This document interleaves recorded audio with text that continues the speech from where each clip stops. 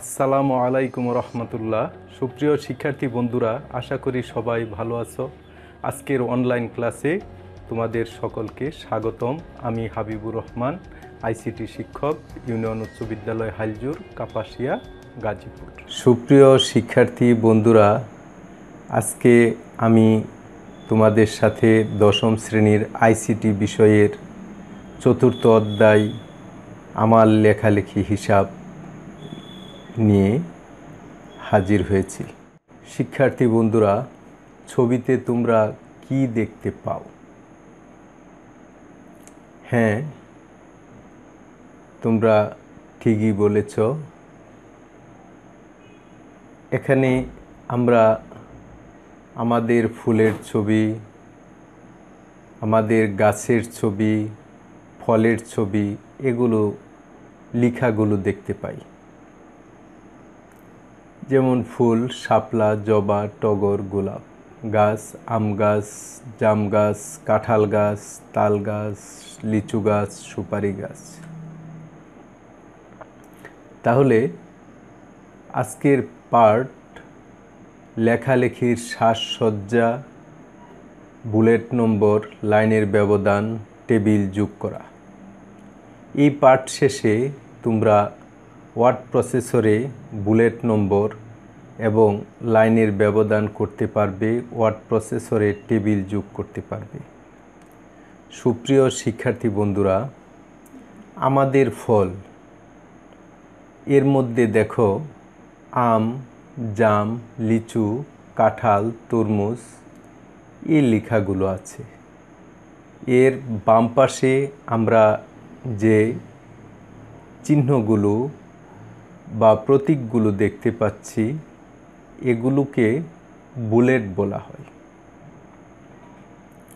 আর আমাদের নদী যেমন পদ্মা, মেঘনা, যমুনা, সুরমা, তিস্তা, এই নদীগুলো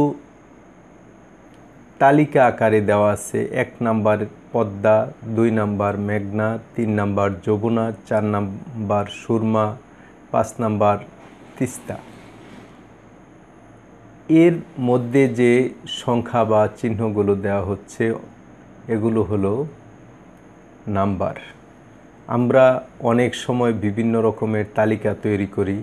এসব তালিকা ধারাবাহিকতার রাখার জন্য কোনো চিহ্ন, বর্ণ বা সংখ্যা ব্যবহার করে থাকি। এগুলোকে ওয়ার্ড প্রসেসরের বাসায় বুলেট ও নম্বর বলা হয়। সুপ্রিয় শিক্ষার্থী বন্ধুরা এই চিত্রে আমরা বিভিন্ন বুলেট দেখতে পাচ্ছি। বুলেট হলো বিভিন্ন প্রতীক বা চিহ্ন। হোম ট্যাবের প্যারাগ্রাফ গ্রুপে বুলেট আইকন কমান্ডে এ বুলেটগুলো পাওয়া যায়। আমরা আমাদের প্রয়োজনীয় বুলেট বা চিহ্ন আমরা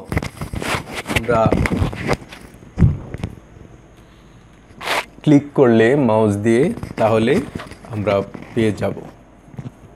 বুলেট হলো আমার প্রয়োজনীয় লেখাকে সুন্দর, সুশ্রী দেখার একটা চিহ্ন। নম্বর। সুপ্রিয় শিক্ষার্থী বন্ধুরা, হোম ট্যাবের প্যারাগ্রাফ গ্রুপে নাম্বার আইকন এ আমরা বিভিন্ন প্রকার নাম্বার পাই। এই নাম্বারগুলো যেমন এক, দুই, তিন, চার, পাঁচ, এ, বি, সি, ডি এরকম নাম্বার থাকতে পারে। রোমান সংখ্যার নাম্বার থাকতে পারে, অঙ্ক লেখার নাম্বার থাকতে পারে এবিসি বা ক্যারেক্টার দিয়ে লেখার নাম্বার থাকতে পারে। এগুলো হলো নাম্বার। একক কাজ। বুলেট এবং নম্বরের ব্যবহার উল্লেখ করো। সুপ্রিয় শিক্ষার্থী বন্ধুরা, আমরা বুলেট এবং নাম্বার বিভিন্ন লেখার আগে বুলেট এবং নাম্বার ব্যবহার করতে পারি। তারপর লাইনের ব্যবধান। একটি লাইনের পর আরেকটি লাইন, আরেকটির পরে আরেকটি, এরকম লাইনগুলো ব্যবধান বা স্পেস বা ফাঁকা বা দূরত্ব বাড়ানো কমানোর জন্য আমরা লাইন স্পেসিং বা লাইনের ব্যবধান ব্যবহার করে থাকি বা লাইন ব্যবধানের টোলটি আমরা ব্যবহার করি।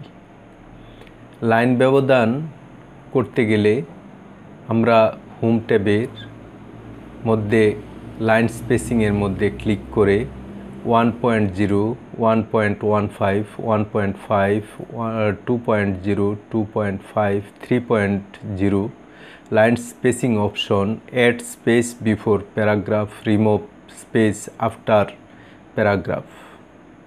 এরকম লেখাগুলো থাকবে। আমি ওয়ান পয়েন্ট জিরো বা ওয়ান পয়েন্ট ওয়ান ফাইভ বা ওয়ান পয়েন্ট ফাইভ এখানে ছোটো সংখ্যা মধ্যে মাউস দিয়ে ক্লিক করলে আমার লাইনের ব্যবধান কম হবে। বেশি সংখ্যার চিহ্নের মধ্যে ক্লিক করলে আমার লাইনের স্পেস বা ফাঁকা বা দূরত্ব বেশি হবে। আমি অন্য আরেকটি উপায়ে লাইন স্পেসিং বা ফাঁকা করতে পারি। লাইন স্পেসিং অপশনে আমি ক্লিক করে আমি লাইন স্পেসিং থেকে মাল্টিপল লাইন অ্যাডজেক্টিভলি তারপরে লাইনের যে বিভিন্ন কমান্ডগুলো থাকে, সেখান থেকে যেমন one point zero one point five two point zero two point five এরকম। আমার প্রয়োজন অনুযায়ী আমি সংখ্যায় ক্লিক করলে আমার লাইনটা সেই পরিমাণ বড় হয়ে যাবে। আবার আগের অবস্থায় নেওয়ার জন্য রিমুভ স্পেস আফটার প্যারাগ্রাফে ক্লিক করলে পূর্বে যে অবস্থা ছিল বা লাইনের ফাঁকাটা যে কম করার জন্য রিমুভ স্পেস আফটার প্যারাগ্রাফে ক্লিক করলে কমে যায়, কম করা যায়। সুপ্রিয় শিক্ষার্থী বন্ধুরা, টেবিল।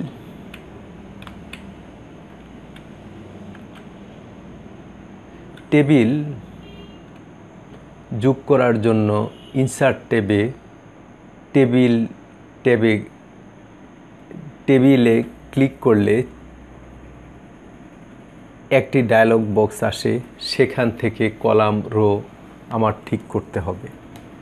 আমি একটা টেবিলের মধ্যে কতগুলো কলাম দিব, সেই পরিমাণ সূচকটা আমার লিখে দিতে হবে এবং কতগুলো রো দিব, সেটা লিখে দিতে হবে। লিখে আমি ইনসার্ট বা ওকে বাটনে ক্লিক করলে আমার ওই পরিমাণ রো এবং কলামের একটি টেবিল বা সারণী তৈরি হয়ে যাবে। এছাড়া ইনচার্ট ট্যাবে ক্লিক করে ইনচার্ট টেবল এর রো কলাম দেওয়া থাকবে, এরকম চিত্র দেওয়া থাকবে। এই চিত্র থেকে আমি আমার প্রয়োজন অনুযায়ী কলাম রো নিয়ে আমি মাউস ক্লিক করলে চাপ দিয়ে ধরে আমার প্রয়োজন অনুযায়ী রো কলামের মধ্যে ছেড়ে দিলে ওই পরিমাণ রো এবং কলাম তৈরি হয়ে যাবে। দলগত কাজ। সুপ্রিয় শিক্ষার্থী বন্ধুরা, তোমরা দশজনের দলে ভাগ হয়ে সকলের নাম, পিতার নাম, বয়স, রোল নম্বর সারণীতে উপস্থাপন করো। মূল্যায়ন। তালিকার ধারাবাহিকতা রক্ষার জন্য কি ব্যবহার করব? বুলেট নম্বর কোন গ্রুপে অন্তর্গত? লাইনের ব্যবধান টোলটি কেন ব্যবহার করা হয়? টেবিল ট্যাবের কোন ট্যাবের অন্তর্গত? রো শব্দের অর্থ কী?